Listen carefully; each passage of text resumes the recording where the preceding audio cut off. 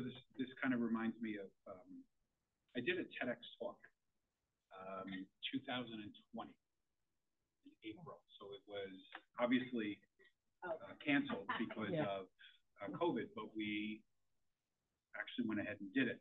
And it was probably one of the toughest presentations I ever did because I had to do it in front of a camera. Oh. No audience, yeah. 12 minutes, uh, and it took 25 takes wow. for me to get it. So it, this is bringing back some uh, little. It's not PTSD per se. It's more along the lines of like acute stress. so, as some of you uh, might have heard, uh, there should have been two of us tonight. Uh, my wife is not feeling well. Uh, we're uh, crossing our fingers that it's not COVID. but after working in schools for between the two of us, almost uh, over 50 years, uh, we've learned that uh, it's kind of like a petri dish. And right now, that petri dish is, is getting a little bit larger. So, nonetheless, so I'm here, and uh, I, I come to this with a, a background in education, also a, a fascination in the adolescent brain, uh, and also as a parent. And my son is 31 years old, and throughout the evening, I'll be making references to him here and there. So even though I'm up here presenting, uh, well, he's not, he's up there. Uh, he, he, he, may come into the picture. Uh, we have a small group, so I, I, would really like to try and keep this as informal as possible.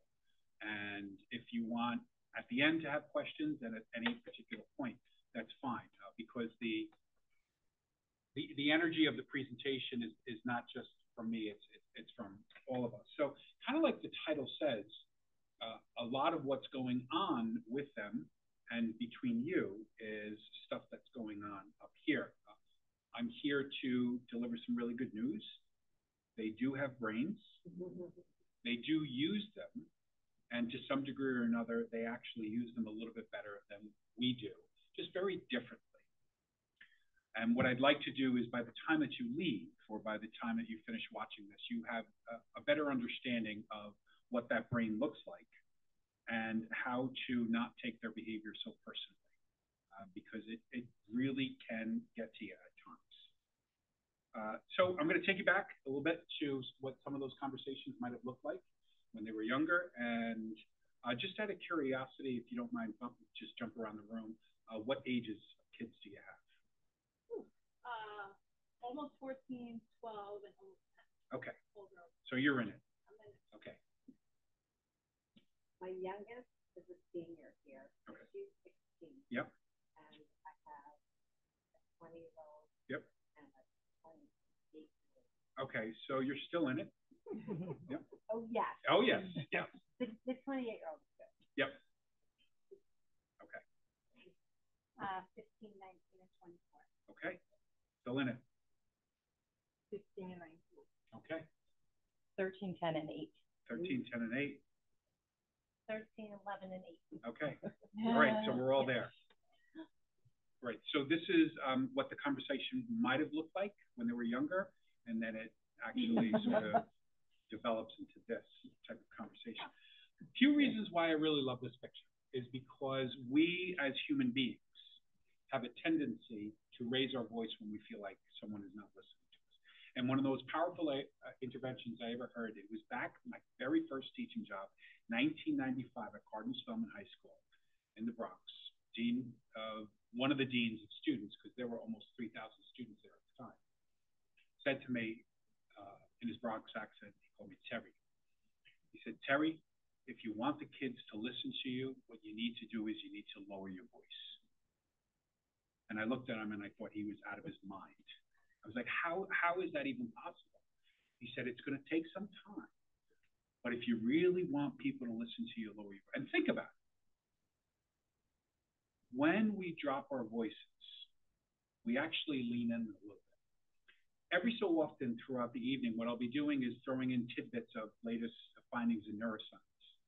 So there's a term that's used, and we'll just call it, for lack of a better expression right now, it's the sort of evening FM DJ voice that low voice, that Barry White voice. research studies show that with this voice, your brainwave activity begins to slow down. Because what will happen is our brains tend to match the sound waves that are going on around us. Raise your hand if you like to be at the beach. Sound of the ocean, the cat's purr. Those types of waves that are made, sound waves and EEG, EEG waves, are actually very, very low. Uh, but the sound of someone yelling is actually very high. I don't know about you, but if somebody yells at me, I tend to get a little defensive. So also, if you take a good look at the picture, she is, um, in her own way, sending a very clear message to her, her mother or the teacher. And there's no eye contact. There's earbuds in, and she's looking down at her phone, what I like to call the world's largest umbilical cord. So um, one of the nice things that I got to experience as a parent was uh, I had some quiet time with my son, and he was one of those kids that would uh, wake up in the morning and just like go. So from the moment he woke up until he passed out, and he was also quite a bit of a talker. So Saturday mornings to go into his room, watch him to be very peaceful because I also knew that when he woke up, there was kind of an excitement because this was going to be our time. And our time was Froot Loops and Bugs Bunny Roadrunner. So that was like that, that um, sort of father son bonding time. Things started to change a little bit when he got older because uh, I would go into his room and that's what I would see. And this was, say, three o'clock in the afternoon on a Sunday five minutes before the bus. and I heard a couple of people talking before we got started in the presentation that there's also an odor that comes with it as well. So years ago, I had worked at an all boys high school. And at five o'clock in the afternoon, after freshman football, the freshman corridor had an odor to it. That was, um, there was also an additional thing called Axe body spray. Oh, brutal. anyway, um, sort of go into the room and see this mess in there and think, you know, what is going on with my child? Now, this isn't just boys. This also happens with girls. So fascinatingly, uh, scientists have been able to identify that the adolescent sleep clock gets pushed back by approximately two to three hours. This is not a choice that adolescents make. And it's not every single adolescent. I'll get to a slide where I talk about speaking in generals. Um, but at the center of our brains is probably one of the most powerful organs within the human body called the hypothalamus. And right smack in the middle of the hypothalamus is our biological sleep clock, and this is called the suprachiasmatic nucleus. Your assignment tonight is to go home, have three glasses of wine, and repeat that 10 times. so the suprachiasmatic nucleus is where melatonin is. For whatever reason, I didn't set it up this way, but the universe decided that when kisspeptin, is released, which is sort of like the, the precursor to estrogen levels rising and testosterone levels rising. These hormones find their way into the center of the brain and they, they marinate and they delay the release of melatonin. and there's there has to be a, an evolutionary purpose behind that. Maybe as we were getting ready to find a mate and procreate, this gave us an opportunity to um, hunt longer and maybe protect the family. So, so there's got to be some sort of biological component. Uh, on top of it, you throw this in there, uh, and what we have is we have a chronically sleep deprived uh, group of adolescents. And to be quite honest with you, forget about the sleep clock. We have a chronically sleep deprived population. So Mary Carskadon was probably uh, from Brown University was probably one of the first ones to really uh, push this um, uh, put, uh, delay in start times for high schools because what her research identified is that in order to function optimally, the average adolescent requires nine hours and 15 minutes of sleep per night. And it's usually laughter that comes from it, especially when I'm talking to students about this because they're like, you know, a little bit more animated. They're like, no way. it's not happening. Can't do it. And they're being honest, you know, with the demands of AP classes, with the demands of extracurricular activities, some of them working part-time jobs, keeping up with social media, their friends, taking showers and so on and so forth. Some of them are lucky if they get six and a half hours of sleep. But I've got some good news for you. When we look at the research of schools who've decided to delay start times, what we have found is that even just 36 minutes more of sleep on average for some students can be the difference between a C and an A. So by delay, Mhm. do you mean delay to like nine, or do you think eight twenty-five is like the This is spot? delayed, some schools started. No, I know, that's why I'm 7:45. Yeah, asking, yeah, that's yeah. exactly what So I'm it, asking. it's completely up to the individual district because in Connecticut, uh, first period might be seven twenty-five. So if you go to, I believe, North Salem School District, uh, it's probably around the same. Uh, and the thing that many districts struggle with is, is busing and extracurricular activities, a- and it's a financial piece. However, uh, when advocating for this, what, what I typically invite districts to do is to take a look at Fayetteville County in Kentucky, where car accident rates for 16 to 18 year olds decreased. So we're not just talking about higher SAT scores, we're not just talking about better GPAs. What we're talking about is the potentiality for saving lives. I'm not making this up. You all know this, that when we look at what happens when the clocks get pushed back, car accident rates are through the roof for adults that week. People report feeling more stressed, feeling more irritable. So, so there's um, some validity to this. So some initial so, uh, thoughts here. Uh, no matter what, whenever I speak about teenagers, each of you is going to have probably an, an experience or a child that doesn't necessarily fit. Um, that, that's just the nature of psychological research. That's just the nature of human behavior.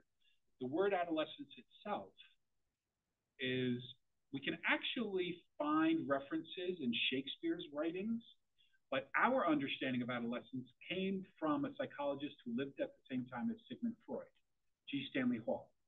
And he wrote a two volume work in the late 1800s called Adolescence, Part One, Part Two. And he said it started at 12 and it ends at 18.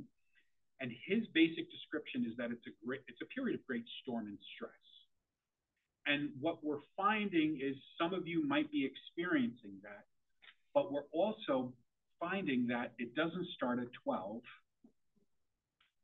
And I did a presentation many years ago up in Canada, and I said to the group, you know, when does it end? And somebody shouted out, never, um, for men. but um, it's probably not 18 anymore. So let me just throw it out to you. Um, when do you think adolescence starts currently from our mindset? Like if, if we were to ask a group of sociologists or psychologists, what, what would they agree? Say, this is the start. Nine. Nine. Nine. It's about 10. It's 10. Yeah. I think in about five years, if the American diet continues the way it's going to continue, it will be nine. So when we look at uh, the average age of a girl's first period in Northern Europe and the United States in 1850, it was 15. 15. Our understanding of Romeo and Juliet being 13 is probably not true. So what happened? What's going on with our diet?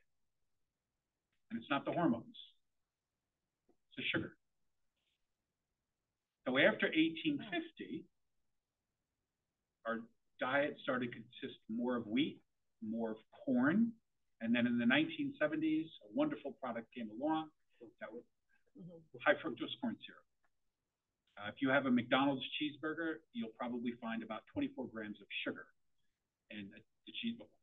Why a cheeseburger has sugar in it is absolutely beyond me. Special sauce. But the average ketchup serving itself in like one teaspoon probably has about eight grams of sugar. Uh, it is seven to eight times more addictive than heroin and cocaine when it's experienced subjectively. You find somebody who can have one Oreo cookie, it ain't happening. and research shows if people have three Oreo cookies and do a little bit of cocaine, their dopamine receptor sites look the same. They look the same. So we have kids who are in lower socioeconomic communities who don't have access to healthy food. And girls there, because of the obesity rates, are actually starting their first period at seven and a half. Oh, we have boys who are, are entering puberty at the age of nine. And the reason why is because puberty responds to fat levels in the body. You probably know as well as I do, if you don't burn sugar, it turns to fat. So I think in New York City, um, and if you look in a kindergarten class, about 35 to 40% of those children are not overweight, they are obese. So this is one of the things that's contributing to it.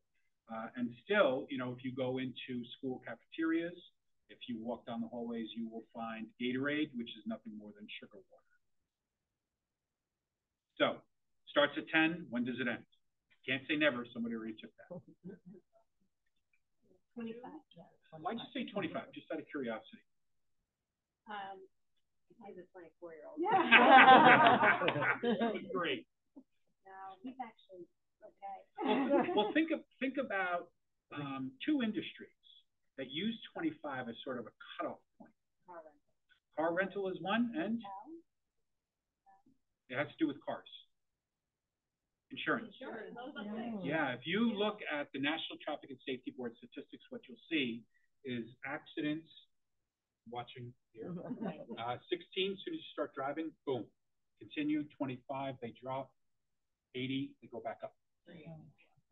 So I'm not making that up. You can you can look at it. Um, so what we think is that you know the brain is say developed at 25.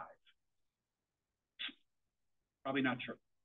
Research that came from Sarah-Jayne Blakemore, who wrote a wonderful book called Reinventing Ourselves, indicates that she is seeing the prefrontal cortex still developing for 40 year olds. So there's hope.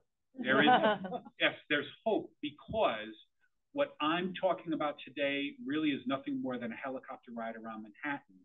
We still don't know if those buildings are commercial or residential.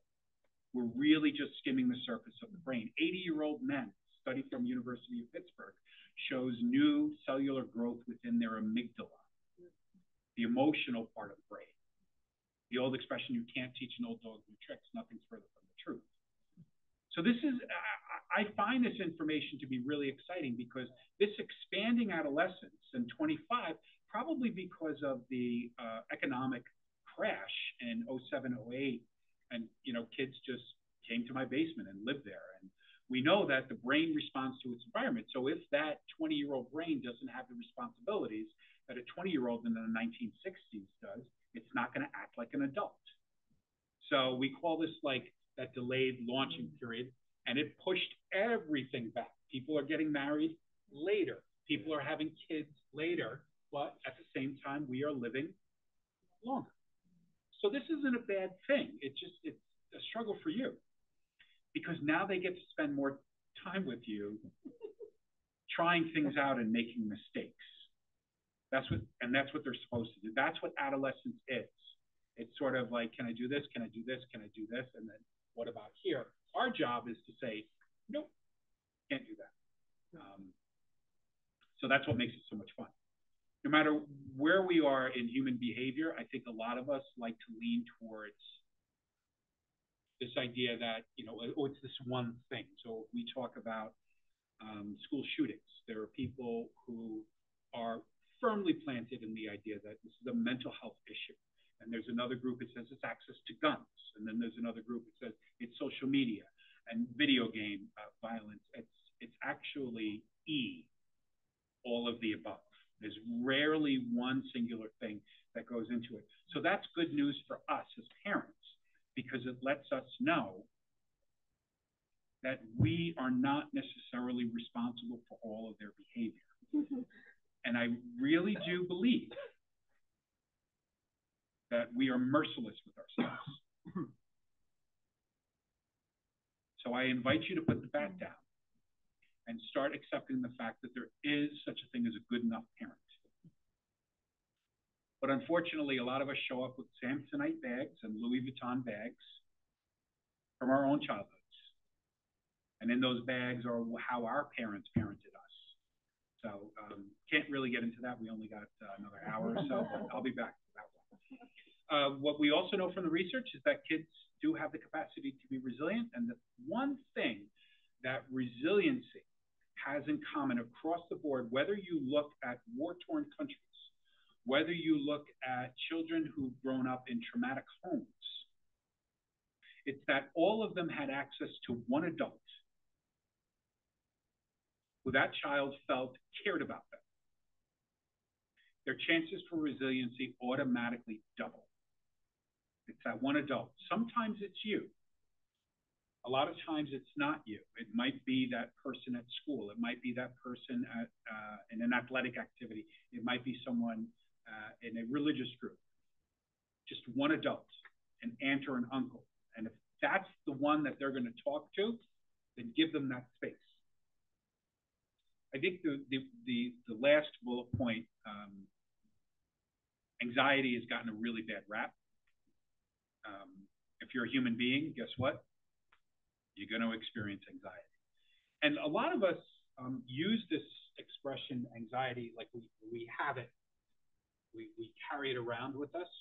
So um, when I work with students and they you know, share with me that they have anxiety, uh, one of the things I do from a clinical perspective is I is I uh, say, well, look, there's you know there are people. You ever hear somebody who said that you know, oh, I'm so OCD. Um, you know, OCD uh, predominantly has to do with intrusive thoughts and significant cases of OCD. Somebody can't leave the house without checking that the oven is off 90 times. And they say, no, well, you know, I guess like, you know, I'm a neat freak. I say, okay, so with anxiety, have you been diagnosed from a, a mental health clinician with an anxiety disorder? Well, no, but I have anxiety. I said, okay, so do you have anger? Huh? Do you have sadness? No, I feel those things. So then I invite you to think about anxiety the same way. Because anxiety in and of itself is not a bad thing. Anxiety can be one of the greatest teachers, uh, just like a bad relationship. It, it's definitely uncomfortable, but stepping out from that bad relationship, that's a really powerful learning experience because that relationship teaches us everything that we don't want in future relationships. Anxiety is healthy at times because it teaches us to look both ways. If you open up the DSM-5, the Diagnostic and Statistical Manual of Mental Disorders, you're not going to find a diagnosis for test anxiety. It does not exist. If someone is anxious before a test, there's a very good chance that they're concerned about performing well. Good. That's a good thing. If somebody didn't prepare for the test, maybe they're a little anxious for it. If they're taking a test that might have an impact on whether or not they get into a certain college, it's appropriate to experience that type of anxiety. But if it's crippling, that's where I invite people to seek out the assistance of somebody who's skilled in that area. Um, so I don't poo poo anxiety.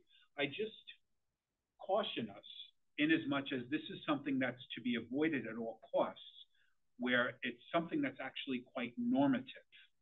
It is something that's going to happen.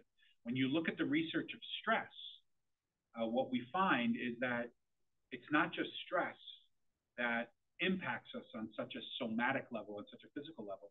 It's how we think about stress. It's the same idea with anxiety. Um, so this generation, and when I talk about this generation, the young ones, the ones who are 13 and under, what I'm talking about is alpha gen. And then the generation above that are what we call Gen Z, and then the millennials. So let's say Gen Z and Alpha Gen, they are not the most anxious generation to ever come along. I'm going to flip it. We're the most anxious parents. Gen X. Because we're the ones who grew up looking back on our childhoods and began to actually do the research and say, well, I don't know if hitting is actually that effective. I don't know if throwing a kid into a pool is actually a good idea. I don't know if pushing them down the mountain is really that good of an idea. So to some degree or another, we swung the pendulum. And raise your hand if you've heard of a helicopter parent. First time that appeared in American literature was 1977. 77. We don't have helicopter parents anymore. We have stealth bomber parents. We have snowplow parents. We have lawn mower parents, people who want to clear the way for kids so that they don't experience anything negative.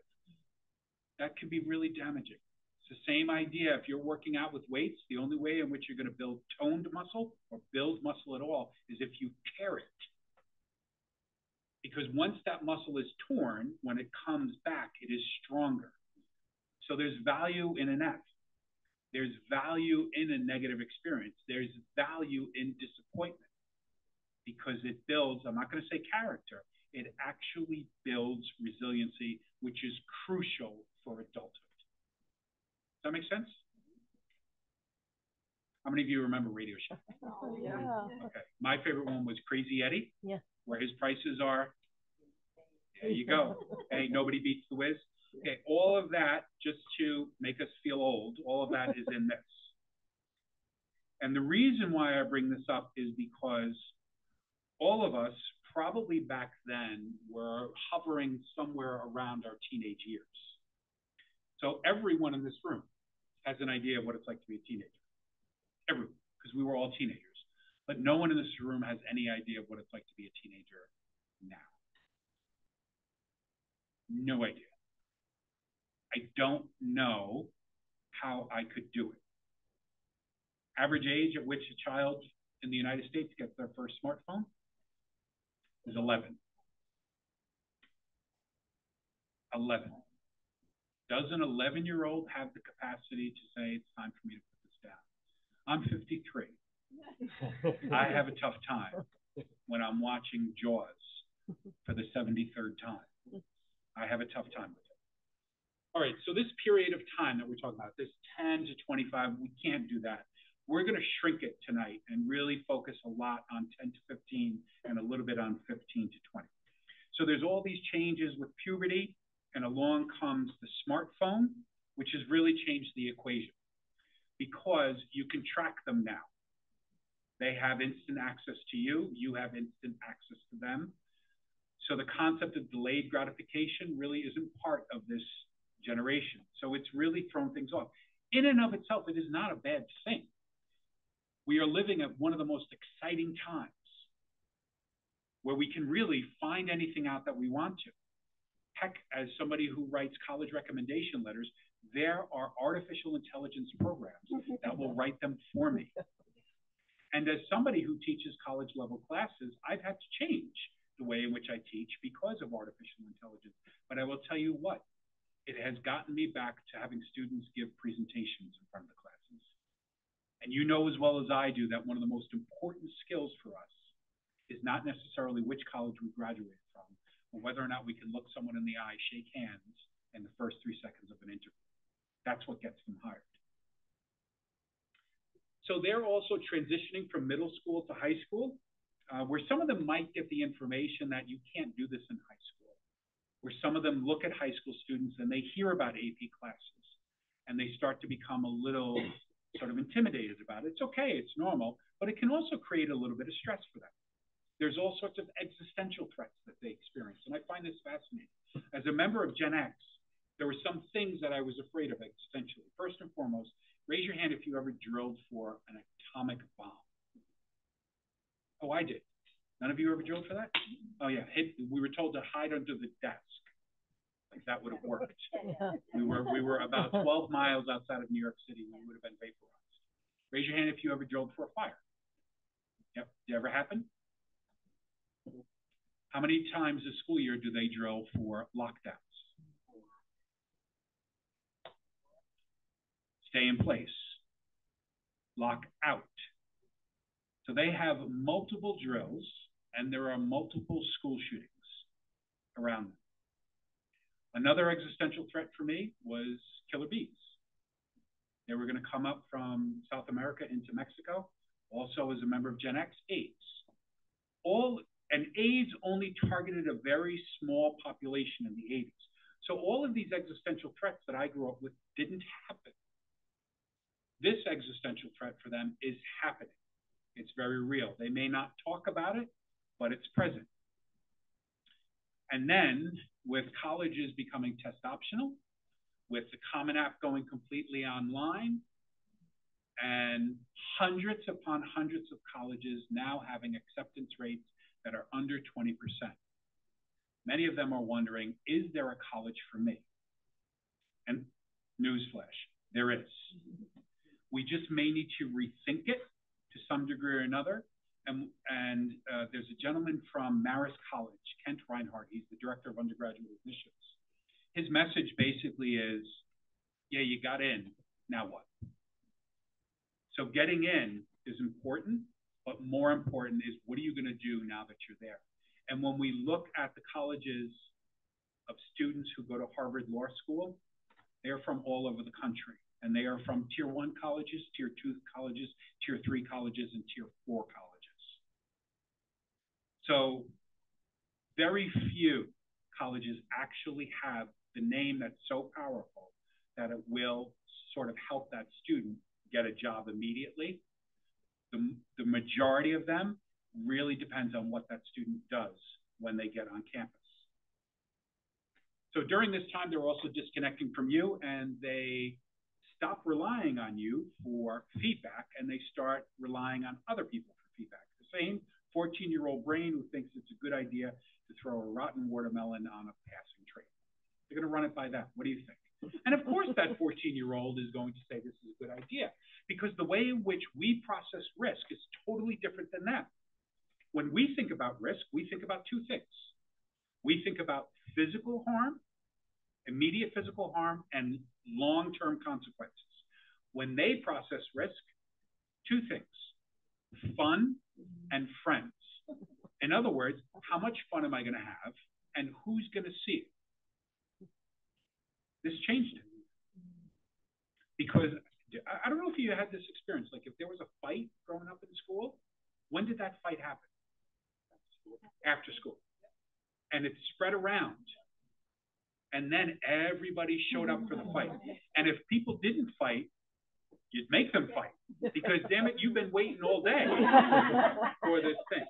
It's like we're waiting for the dopamine fix, that excitable chemical doesn't have this is instantaneous dopamine.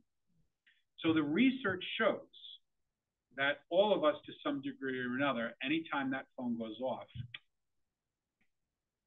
we're looking for the hit. So I know that I'm talking about I'm talking about adolescence and potentially being addicted to smartphones, but we all probably are. Uh, Dan Huberman from the Huberman Lab, who's a, uh, a, neurobiologist and ophthalmologist from Stanford University, has done some really interesting research.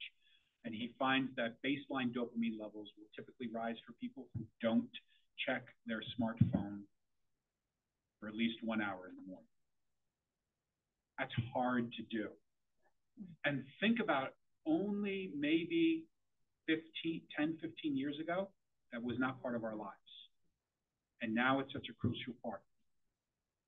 Heck, I can do five sessions on dating and romantic relationships, but I'll only say this. The first two months of any new relationship, it doesn't matter if you're 16, 26, or 66, that brain looks like it's addicted to heroin. This is why teen relationships are so maddening for us. And if we say, don't worry, there's plenty of more people out there, there's only one for them.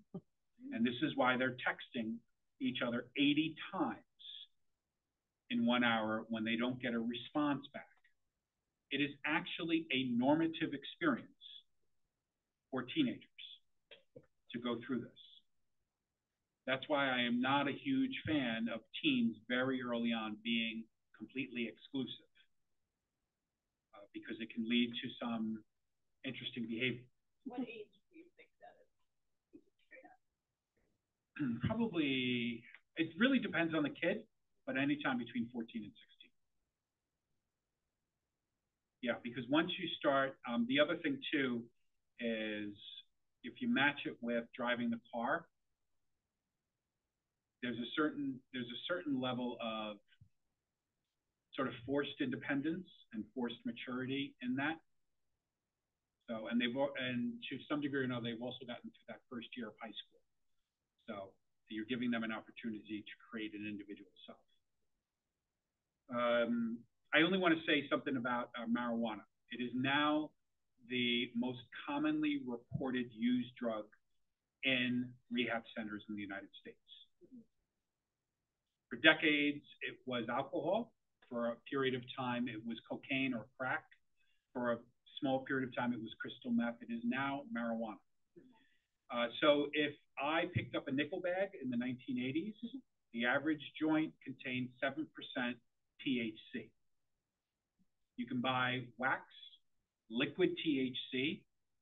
You can drink it now. You can buy gummies that are 95 to 97% pure THC. And it's becoming more and more legal across the country.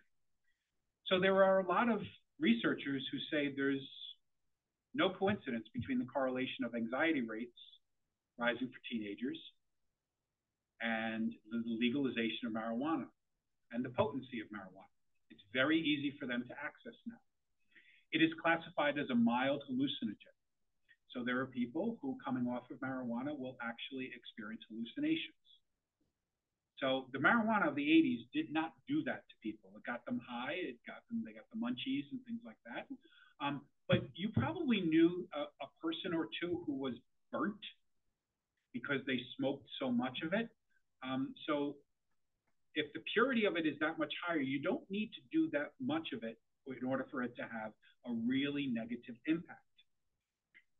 So we know that there's an increase in sensation seeking. And, and last thing I want to say, with regards to driving, a lot of states think 16 is good enough for them to get behind uh, a thousand pound vehicle that can go up to 120 miles per hour. Here's some sobering statistics. The minute that you let a second teenager in the car with a new teenage driver, the chances for a fatal accident double. Three, they triple. Four, they quadruple. If your kids are newly licensed, my invitation to you is unless they are going to school or to work, do your best to refrain them, refrain them from joining other teenagers in the car. It can be really dangerous, yeah. Do you think it makes a difference if they delay getting their licenses? Or do you think it's part of it is just being a new driver? Part of it is definitely being a new driver. I, I mean, you know, obviously you're 40, Mhm. it's a little different, but although that has some issues if you're waiting till 40 to get your license. But if Right. you, but it, but I've seen more and more kids that they're they're not that excited about getting their licenses anymore around here because they'd rather, you know, if they're happy with Uber, they're happy with Uber Mom or Mhm. Uber Dad. And, and the one good thing I will say is, I mean, I know what y'all think, but I think that kids today have a much clearer sense of don't drink and drive. Yeah. Which back in my days, We didn't. We did not have that. Yeah. I mean, there were, you know, Yeah, kids are, um, for lack of a better expression, this generation is, um, is pretty good. Uh, if we look at use of illicit drugs, it's actually gone down. If we look at teen pregnancy rates, it's gone down. If we look at the number of teenagers who are using uh, protection for sex, it's increased. So, you know, they're, they're pretty good. They're very socially active in many ways. And the 18, maybe 20 getting their license is all part of that delayed adolescence. So I don't necessarily think it's good or bad. It really depends on, on where the individual at. What I think is very risky is when you add the teenagers to the car. Um, so if you put all that together, essentially this is what you get. I was just making sure that you were still awake. Now, folks, that's you with your 13 year olds, or maybe when they go for a drive. Uh, that's their teachers, and sometimes that's them after listening to you lecture them. Um, but even though I started off saying, you know, they do have brains, uh, there's some really interesting things that go on with their brains. Uh, they actually have what we call cognitive distortions. So uh, there was a psychologist uh, who popularized this theory of cognitive development. His name was Jean Piaget. And he said kids go through these four stages. They start with sensory motor, concrete, pre-operational, and get to this formal operational stage. And after about the age of seven, they are no longer egocentric. apparently Piaget didn't work that much with teenagers. Uh, there's really no more narcissistic animal on the planet other than a teenager, uh, unless you turn on Bravo. there's some narcissism there. Uh, but uh, David Elkind in 67 started to, uh, you know, in working with teenagers and doing some research studies, started to become a little bit more curious and say, you know, there, there's this thing going on with them where they start to sort of believe that everybody is watching them. And people knew this for a while and, you know, just said, oh, you know, there, it's a moral issue. Um, you know, if, if you if you read some some scripture, it's spare the rod, spoil the child. Um, what Elkind started to hypothesize is sort of like if their body is changing and they're watching their bodies change, if they're watching their hips expand, if they're looking at their friends and mustache hair, Adam's apple, who's got more facial hair, who's growing faster, who's got more friends, they obviously then start to think people are watching them. It makes perfect sense. It's this imaginary audience. So that was in 67.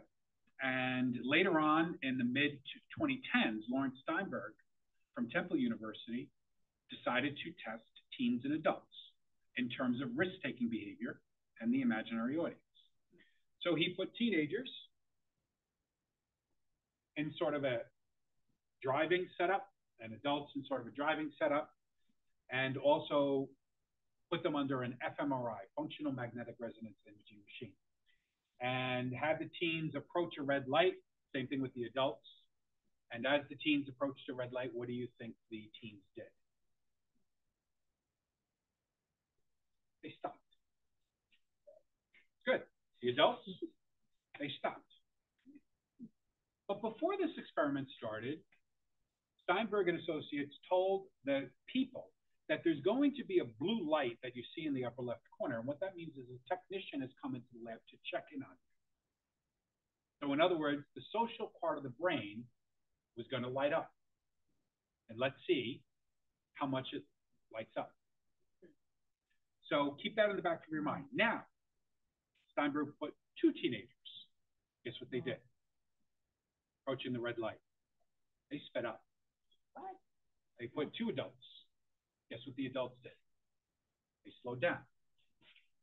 So for each participant that were added to the teen car, the teen took a greater risk. Just like we talked Oh. about, for each participant added mm. to the adult, the adult did not change. Now we go back to the blue lights, the social part of the brain. For the adults, when the technician was there, actually there was no technician in the room. Nothing happened to their brains. They just kept driving. For the teens, the social part of the brain was on fire. Hmm. Elkind was right. When teens walk into a room between the ages of about 13 to 16, they suddenly feel all lights are on. And you've experienced it with them when they suddenly no longer want to be associated with you. right? It's like suddenly they they they, they like materialize out of nowhere. It's like you're looking at them like you have to have a parent. You didn't just end up on this planet. I'll, I'll tell you a story. So I was driving my son up to the Galleria. That's back when we lived in Yonkers, and I thought I was cool, right? His friends called me Papa Hoops. I'm hip, right? I'm down with it. And I don't know for like three or three or four weeks, drop him off. Uh, his friends like, hey, how you doing, uh, Papa Hoops? So I leave, and all of a sudden, like this, this one day, we get off at Main Street at Bronx River Parkway, and Dylan's like, you, and he, you know, lowers his voice. You drop me off here, man. what? Here's good. So we go to the next light. I'm gonna get out of the car. what are you talking about? My friends don't want to see you. So, you know, I was like, get out of the car. A few expletives were thrown in there. And he got out of the car. So, internally, I'm like, my son. Uh, and I called my wife and I'm like, do you believe this? Kid got out of my car. He, he's like, you know, my friends don't want to see you. And she's like, babe, you know, and we're both counselors. We're both in this field. We totally screwed him up. but she says, you know, it, it's happening. this is the process. And I said, yeah, like what? He's going to turn the corner and his friends think he walked from Yonkers? yes. There are those moments where they actually have those distortions. Because in addition to the imaginary audience, now if they think everyone's watching them, if they are this star, then they also believe like nobody really understands them.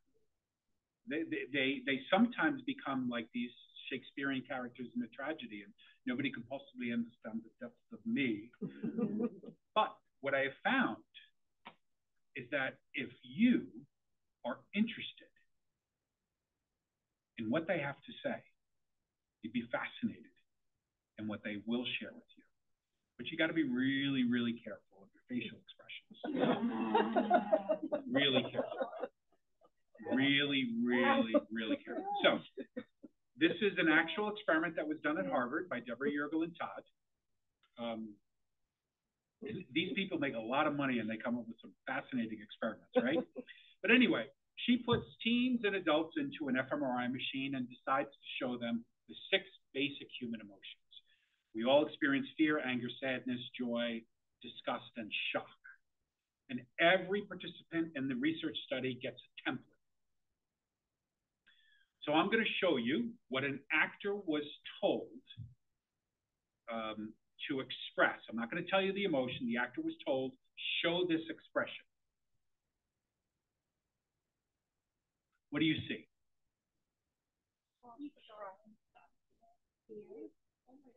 Okay, raise your hand if you see fear. Okay, raise your hand if you see shock.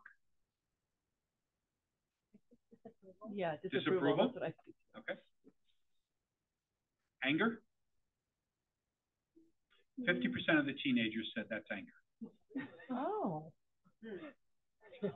So this act, actor was told show fear. So let's look at fear again. Eyebrows up, teeth there. Because when we're afraid, what do we do? We breathe in. Shock is mouth open more. It's more like a anger. Like, look at it. How is that anger? Right. Here's the cognitive distortion. Think about it. If you believe someone's angry with you, Mm, are you defensive? Yeah. Do you ever have those conversations with them and all of a sudden their mood shifts? Yeah. Or they go, Oh, what? yeah. What? That's your cue. That's the cue for Smile. what? I Smile. was like, what do I? So happy you're telling me this right now. This is great. No, no, no, no.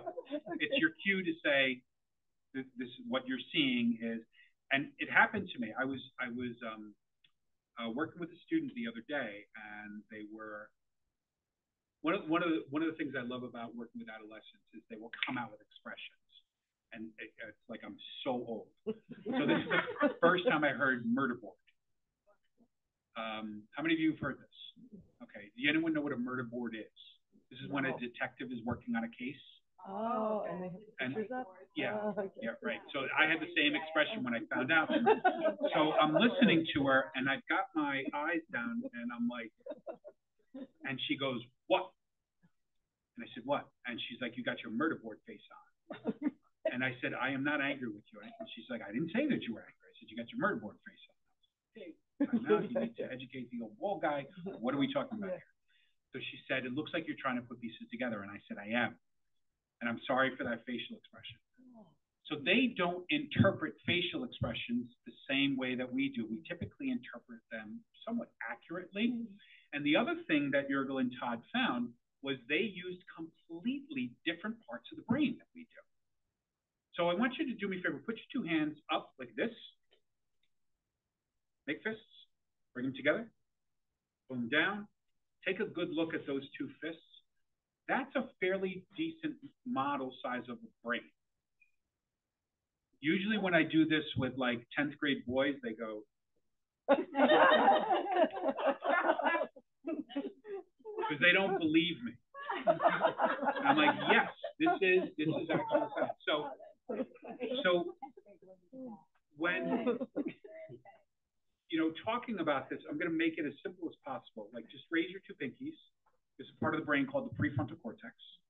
This is the part of the brain that's more developed for us. Then if you sort of bang your two, the bottom of your palms together, this is the limbic system. This is a much more primitive part of the brain. This is where um, the primal emotions, our burglar alarm, the amygdala is, our hippocampus, which is memory, um, and deep memory. Freud, Freud was right. This is where the subconscious is. And then the hypothalamus. So if you just think about walking into someone's house and the food smells like a grandparent's food, how quickly are you transported back to when you were a little kid going over to the grandparents' house? Um, if you smell the, the cologne or the perfume of a former lover, how quickly you're taken back. Uh, and this happens in less than one second. Because all this is the fastest supercomputer. So when neural impulses travel 700 feet per second, they travel in nanoseconds. We make decisions about people in nanoseconds, split second. And we specially make them with regards to facial expressions. So going back to that facial expression, what Yergel and Todd found was adults were using the prefrontal cortex to interpret facial expressions. It's a little bit more advanced. It's like, mm, ah, got it, fear, hmm, anger, okay? And because of that, I'm going to respond appropriately. They are responding from their limbic system, much more primitive. There. So they come into my office and they will tell me that the math teacher hates them. and I will say, what sort of cognitive behavioral evidence do you have for that? and they say, absolutely convinced. How she looks at me. Oh, That's how she looks at me. Oh. So I explain this to them, and they're like, no, no, no, no, no. And I said, well, think back, think about the teachers that you like. What is it about them? I don't know. So what do they do with their hands? What do they like in the classroom? Think about their eyebrows. It has to do with openness. When we look at how we categorize people, Mark Bowden said we basically put people into four categories in less than one second. Every person that we come across, and most people that we come across, we put them in what Bowden called the indifferent category. I moved out of the camera, sorry. then there's another group that we put into potential sexual partners. Then there's another group that we see as enemies. And then there's another group that we see as friends. And what makes a person a friend has to do with openness. Think about how many of you have dogs? What do they do when they feel really, really safe with you? They fall over like that. They wag their tails.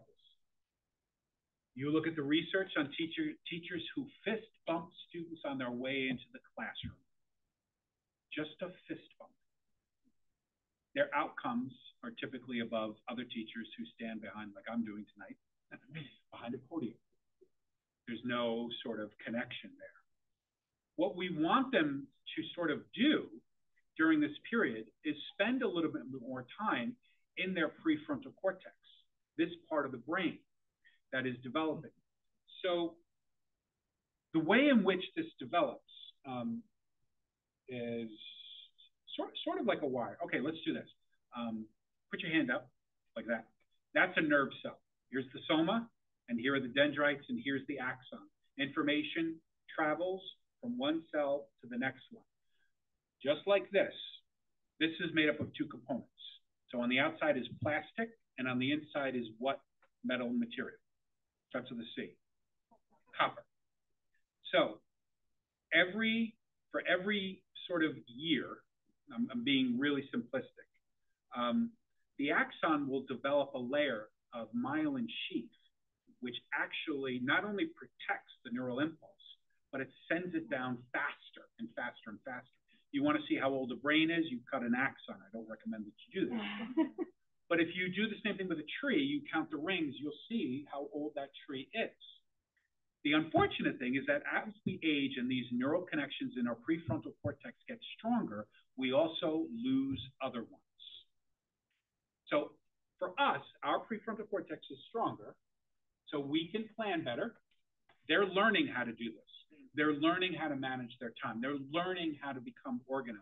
It's not that they can't do it, it's that they need a little bit of help with it.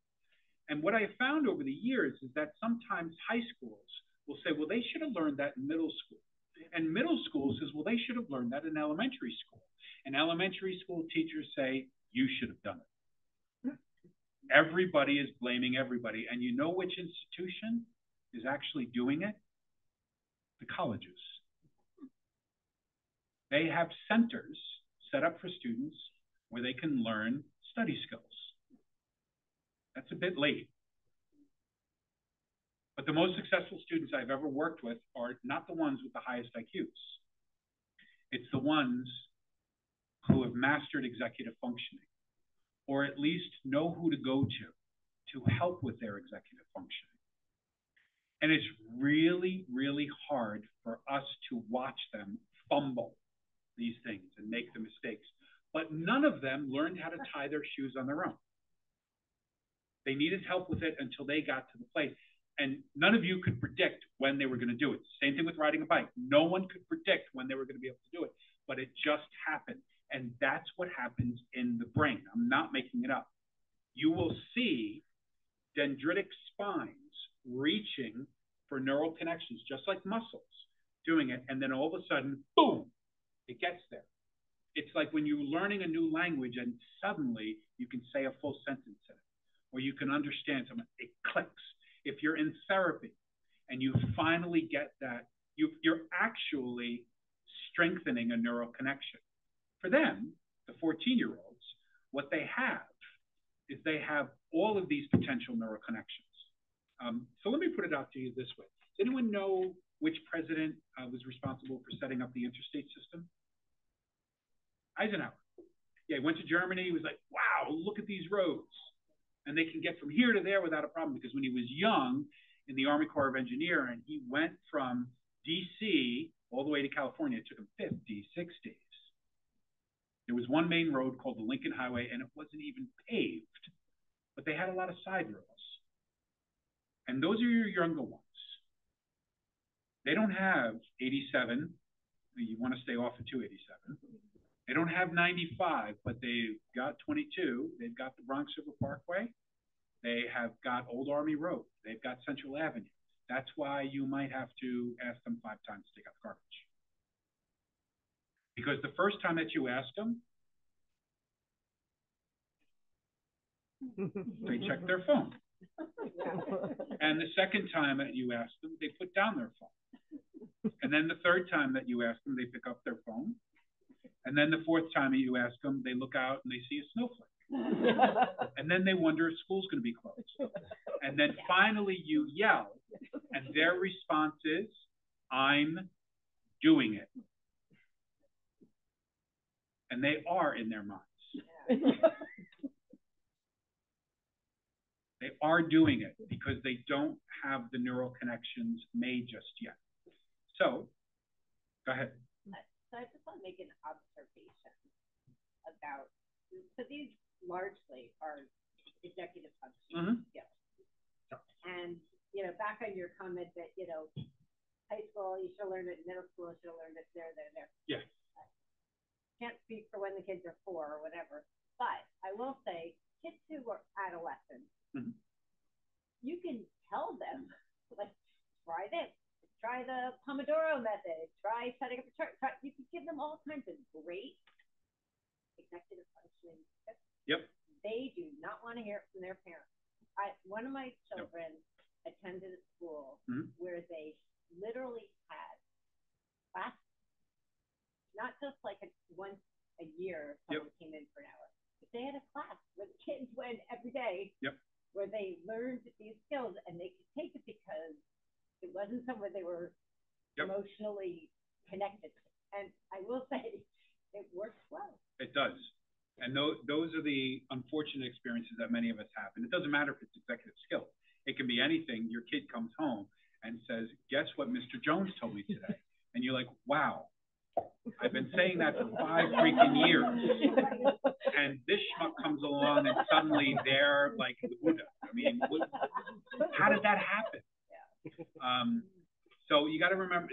So I invite you to remember that the relationship that we have with them, especially at that time, it's appropriate for them to individuate. So they are probably going to challenge you, and there's nothing wrong with trying to advocate with the school for someone to try and help them with executive skills. And some high schools, some middle schools are able to implement those types of courses. But one of the challenges, especially in a high performing district, is the demands for APs. So what what do people really want? Do they want the access to AP classes or they do they want to, to give them these essential skills? And when we when we look at the workforce, some of the most valuable classes uh, are things in like um, how to balance a checkbook, how to communicate in a relationship, why eye rolling is the greatest predictor of divorce. Yes, eye rolling is the greatest predictor of divorce. Um, why are people still getting married if 47% of marriages within the first seven years end up in divorce? Maybe we have misconstrued the concept of what marriage is, that we're going to live happily ever after. That's not happening. It's work. Marriage is work. It's two people joining. Um, so, you know, we, we, talked a little bit about brain, and and I think this other thing that we need to talk about are those real life situations when you're in a conflict with that 14 year old, with that 18 year old.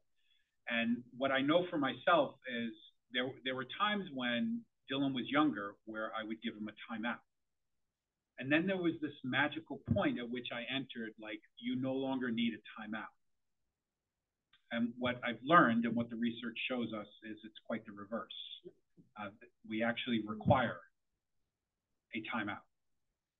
Um, John Gottman, in his research with looking at couples, what he has found is that in any conflict, typically people go into what's called a flooding period, and their systems become flooded with cortisol.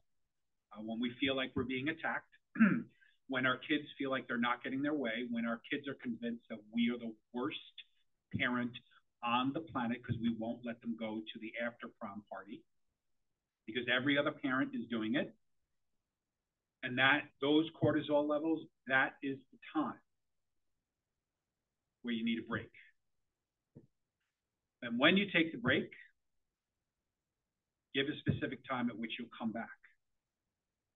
Say, I need a break. Let's come back to this, say, in two hours. I don't want to do that. I want to finish it now because what part of the brain are they in? In their limbic system. And what part of the brain do they want you in? Your limbic system. Think about all those arguments that you've had. That when you walk away and 20 minutes later you go, I don't believe I said that. We have removed ourselves from the prefrontal cortex. And I'm going to put out something a little bit more metaphysical here. I think sometimes when we're in those conflicts with our kids, we're also coming from a very historical place. Many of us are coming from this place of if I ever talked this way to my parents, I would have been hit. I would you fill it in. This would have happened. And because of that, that elicits a very strong response from us. And we might get to a place of like, what else do I do? And we just lose it on them. And that doesn't help anybody. So having that space, that time apart, and then coming back to it when you both agree that maybe an hour, or maybe you need to go for a walk. And if you do come back, I'm just going to throw this out there go for a ride with them. People call it windshield time because you're not making direct eye contact with them. You got something else to focus on. They got nowhere to go. and you could talk about it without making eye contact.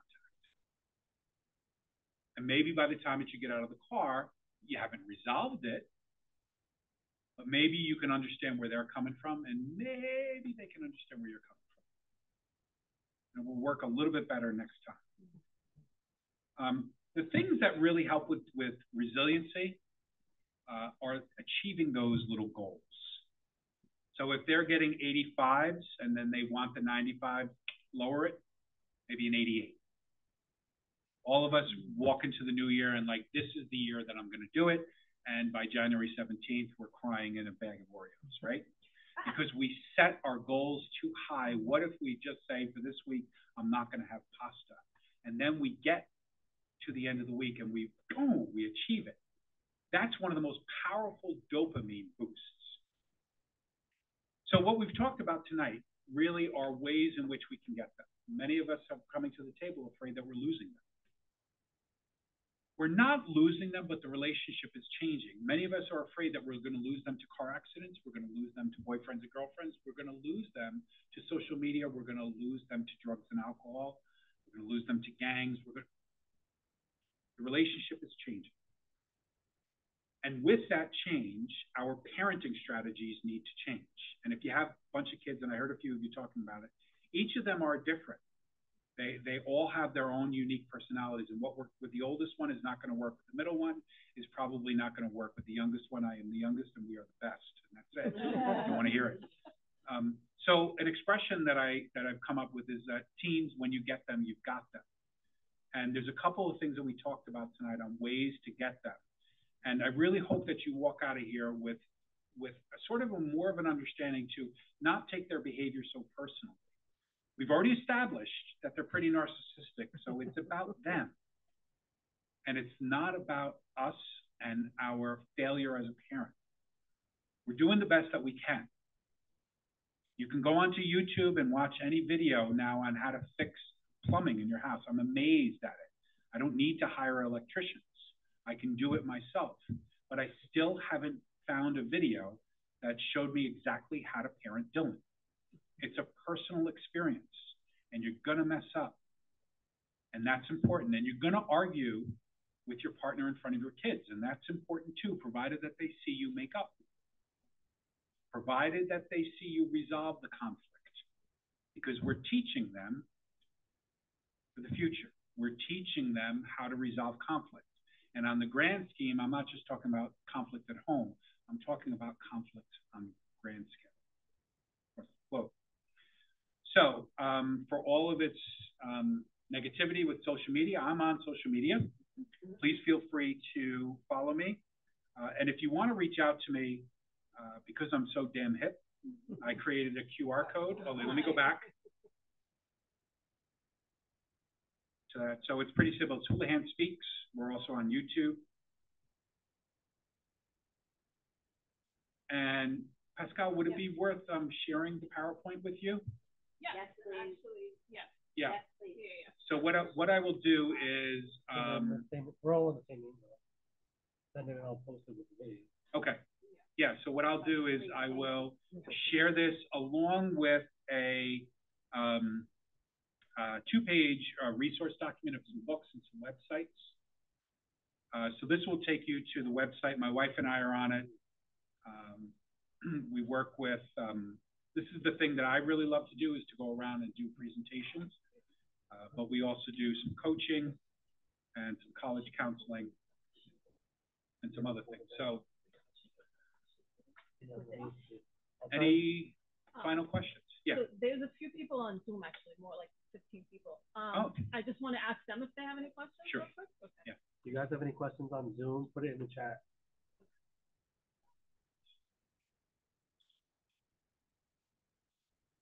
While we're waiting, any questions from, a lot, I right? mean, no, So but this has really opened up a lot of thoughts in my head because I have walked away from my kids in tears Yes. because it was like I can't believe I she just said this to me, or I can't believe like the disrespect, or Yes. you know, or I walked away from them saying like, what is your thought process? Can you Mm-hmm. just explain to me how? You know, you have this, and you know, all of a sudden you're here. What, what did you think in between? Like, and and it drives me nuts. Yeah. Um, but I also know I, I, I get to my yelling point Yep. very fast. Mhm. so now I'm thinking I need to fix my face. Yep. and that's- like, yeah. going on in my head. That's wonderful because it gives us. Or um, lower your voice, right? Oh, yeah. yeah, there's nothing on Yeah. So, Yeah. so when I work with um, um, so uh, I teach in the um, uh, graduate counseling program at Fairfield. And one of the activities I like to do with counselors in training is have them uh, videotape themselves, and then we watch it. And it is painful um, because we actually see what we do. We have a very hard time really getting feedback on what it is. So, in those moments when, and you probably do have them when you're close with your kids, is to say to them, you know, what is it that mom does that, that really gets you going? Because this is something that I, I want to maintain a really, really strong relationship with you, and we're not going to agree on all these things, but um, what really gets you. And if they share it with you, then you get to share it with them. So start with your vulnerability and then say, well, you know, thank you so much for sharing.